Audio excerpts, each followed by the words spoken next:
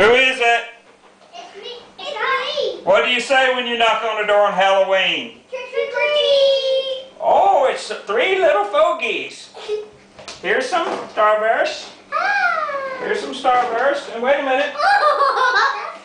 Wait a minute. Here's a couple of SpongeBob things. Thank you. And wait a minute. Who's this? Who's this little fella? That's our little brother. Oh, our well, the little pumpkin. And wait a minute. Here's two more things. Oh, thank you. Happy Halloween. Goodness gracious, I guess I have to give you this Go Fish I Spy game and another game. Wait a minute, I have two SpongeBob SquarePants